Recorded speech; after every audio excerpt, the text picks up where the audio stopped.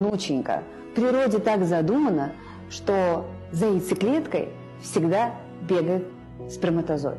И никогда в природе, в природе не бывает все наоборот.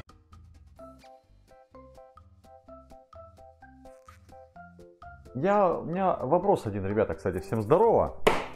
Вот они, знаете, такую вот обстановку, такую бога, дорого-богато, как говорится, да, вот она там вот прическу, вот это все как бы, да, там красивое платье, украшения, да.